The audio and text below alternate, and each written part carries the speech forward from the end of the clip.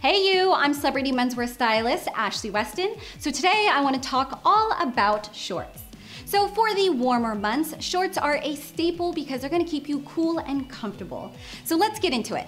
So first, let's talk about how they should fit because I see a lot of men, young and old, crapping the bed in this department.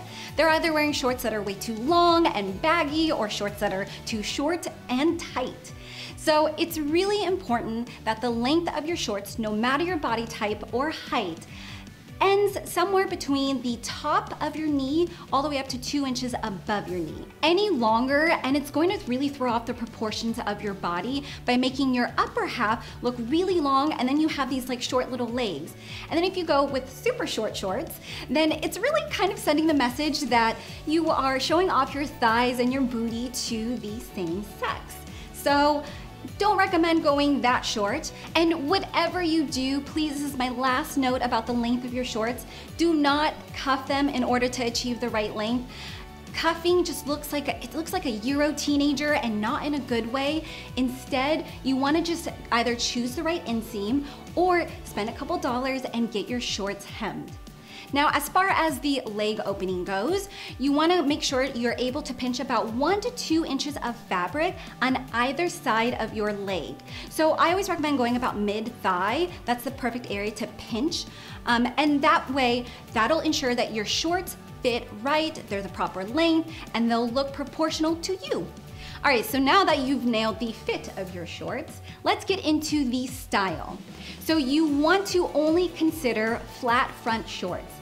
Nothing with pleats. Don't ever choose a short with pleats on it because it just looks really outdated. And also it adds a bunch of fabric in your abdomen area. So then it just makes you look really hippie and bloated, which you don't want, of course. So only consider flat front shorts. It looks streamlined and sharp.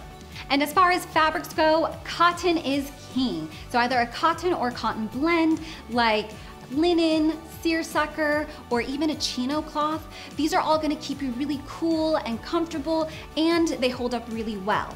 Now in terms of colors, you want to, for your primary shorts, stick with solid colors in shades of blues, grays, and browns because solid color shorts are always gonna look timeless and sharp. Now, if you wanna add some fun pattern or printed shorts, then you can definitely do so, but only wear them to like a kitschy event. Um, don't wear them on a day-to-day -day basis because you're gonna look like a little boy. So I'm always gonna say, stick with solid color shorts because again, they look timeless, they look like a man, and they'll always look sharp and they'll go with the rest of your wardrobe. Now, before we get into the final section, if you've been enjoying this video, be sure to give it a thumbs up, Subscribe to my channel for more videos like this, and hit that bell icon to be notified every time I upload a video. All right, let's move on to my favorite shorts. So I've listed a bunch of my favorite shorts at different price points in the description below, so definitely be sure to check that out.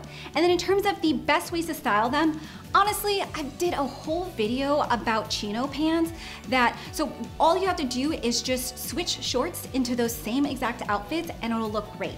I've linked that video as well in the description below, so definitely be sure to check it out.